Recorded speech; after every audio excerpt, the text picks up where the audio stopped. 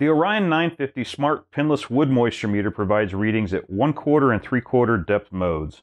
It can store and review up to 100 readings and provide you with minimums, maximums, and averages. It gives you temperature, relative humidity, dew point, and grains per pound readings. And it connects to your smart device so you can log your data and analyze it with the help of the free FloorSmart app for Android and iOS. The first button in the top left hand corner is the on hold button. So if you hit it once or push it once, it will cycle through the current firmware version and then it will come up with a 0.0%, which means that the device is ready to read moisture content. If you're utilizing the Orion 950 in an area where you can't see the LCD display, this button also helps to allow you to take a reading and if you press the button one time, it locks that reading in place so that when you pull it out of the area where you were unable to see the LCD display, you can see what the moisture content of that area was. The next button to the right is the audio button. Now the audio button has two functions. One, if you press it the first time, you have the ability to set a moisture content maximum threshold. And when I say that, the maximum threshold is set so that when you go around and spot check your floor, the meter will make a audio sound that tells you whether or not you have exceeded that moisture content limit that you set. So with the up or down and, and down arrows, you can go up and down and you can get whatever your maximum threshold is. If you press the button, it allows you to set the volume of that audio alert. Once you have that, on hold, and you're ready to check. Going to the right again, we have the species and material button. So the species button allows you to dial in the Orion 950 to the specific type of wood that you're measuring to give you the best possible moisture content results that you can get. With the meter, you get a what we call a cheat sheet with some of the very popular species of flooring and wood materials uh, that you would come across, but there are also online over 7,500 different species and their specific gravity settings that you can dial into the Orion meter. If you press the meter or the species material button again, you have the relative mode. Relative mode allows you to be able to check on a scale of 0 to 100. It allows you to be able to check products or non-wood products such as drywall and things of that nature to give you relative information to tell you if there are areas in that material that are more uh, or that, that have a higher moisture content than other areas. You have a calibration mode that we'll talk about in just a minute.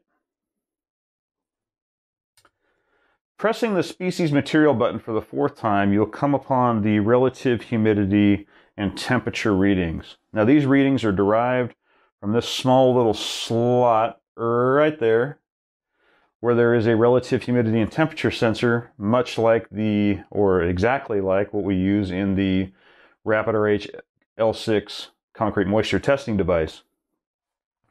Now, the great thing or the positive thing about having the relative humidity and temperature in this unit is it really does give you the ability to have two devices in one. Not only do you have a wood moisture meter, you also have a thermohygrometer. And especially when you're looking at trying to determine whether or not uh, wood is acclimated or if it is acceptable to work with, having the relative humidity and temperature really does help with that. And how it helps is by pushing the button again, those two, those two numbers, the relative humidity and temperature, help calculate or give you the equilibrium moisture content. And the equilibrium moisture content is the moisture content of the wood product or what it should be if it's left in that consistent environment uh, where you're measuring from for a long enough period. So it, in essence, is the target that you're looking for as you are measuring your wood or wood flooring. Pressing the button again, you have the ability to get calculated dew point. A lot of times dew point is critical either in the building restoration side of the business or if you're looking at uh, trying to determine the potential for having any kind of condensation when you're installing flooring on top of a, a concrete subfloor. Lastly, we have GPP, which again, from the restoration side of the world, this is definitely a very critical, uh, critical calculation and something that this device uh, is able to measure. Moving over to the left-hand side again in the middle, you have the option for your uh, depth setting. So when you have your depth setting, you can either choose, as we spoke about earlier, a three-quarter or one-quarter setting. Once you have that setting, you press on hold and you're ready to go. We talked about being able to get the species setting or to correct the Orion 950 for the species that you're trying to measure. So once you have figured out what that number is, these up and down arrows will allow you to adjust the meter and dial it into that specific setting for that specific wood.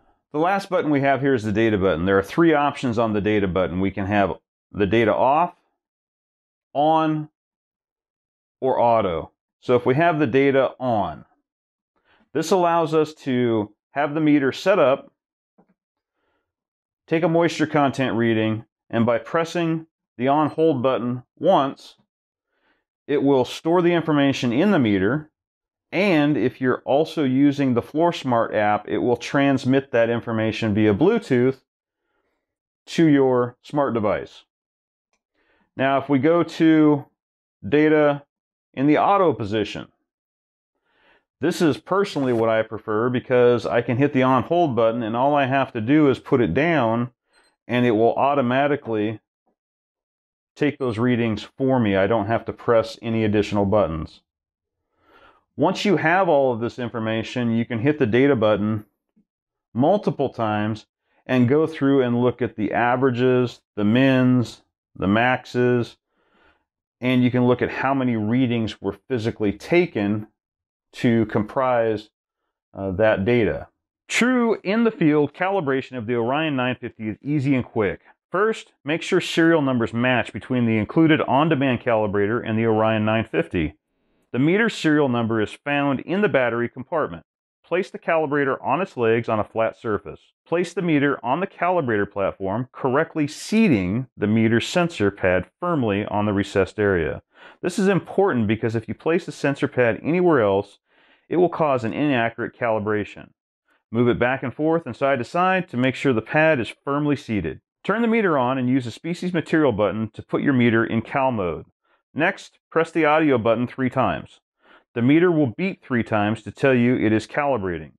When you see the word lift on the screen, quickly lift the meter into the air for about five seconds. When the word done appears, press the on hold button to go back to measuring mode.